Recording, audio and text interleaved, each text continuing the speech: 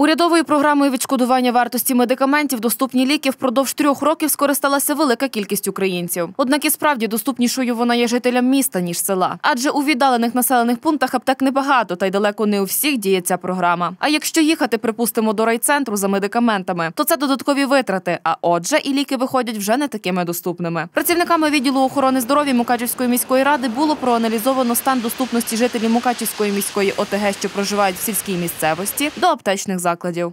З 1 березня поточного року в амбулаторіях сіл Дерцен, Нове Давидково на базі аптечних закладів буде здійснюватись відпуск безкоштовно та з незначною доплатою медикаментів по державній програмі Доступні ліки.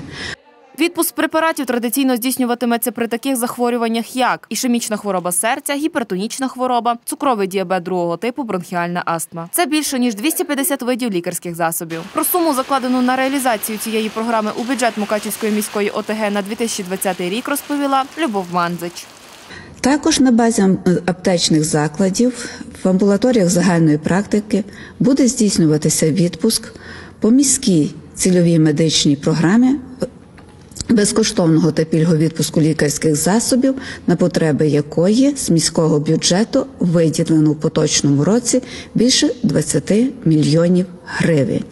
Щодо інших населених пунктів, що входять до Мукачівської об'єднаної територіальної громади Лавки, Нижній Коропець, Павшино, Шенбор, то вони матимуть змогу будуть мати змогу купити за власні кошти на базі фельдшерсько-акушерських пунктів медикаменти та вироби медичного призначення повсякденного вжитку безпосередньо у медичних працівників ФАПів.